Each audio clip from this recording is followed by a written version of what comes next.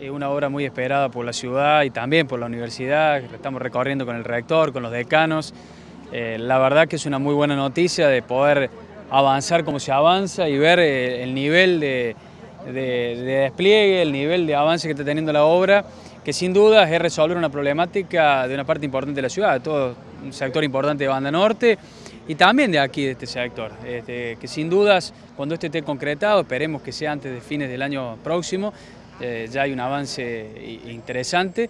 y vamos a estar este, cuando esto suceda eh, realmente muy satisfechos de, lo que es la respuesta que va a tener esta obra, que es mucho mayor incluso a la que se había planificado y no había podido este, ejecutarse con anterioridad en el año 2009.